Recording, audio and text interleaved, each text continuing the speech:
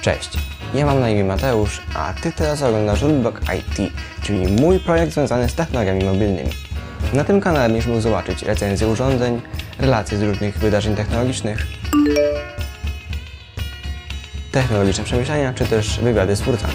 Nie będę zbytnio przedłużał, powiem tylko, że w tym tygodniu pojawi się recenzja opaski Xiaomi Mi Band, tutaj w formie wideo, zaś w formie tekstowej na ubieralni.pl. Czołem!